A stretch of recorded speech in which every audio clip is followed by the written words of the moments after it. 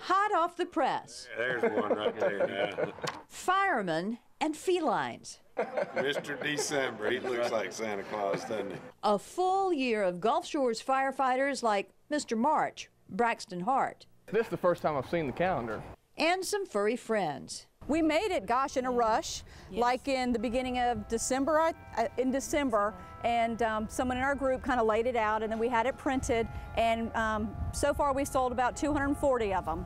At $15 apiece, it's all to benefit the newly formed Gulf Shores Animal Care and Control Program, who are focused on managing the stray cat population in Gulf Shores through the Trap Neuter Release Program. Our goal is to go into those colonies and try to fix and spay as many cats as we can to help alleviate overpopulation of the cats. We have found that that's the, um, the most humane and effective way to deal with a, a colony. For the firefighters, You know, guys on shift joke around with you and poke fun. it's all for a good cause. We do have a couple bigger individuals that don't mind losing the clothes a few times. Another way of helping all year long. On the Baldwin County Beat in Gulf Shores, Debbie Williams, WKRG News 5.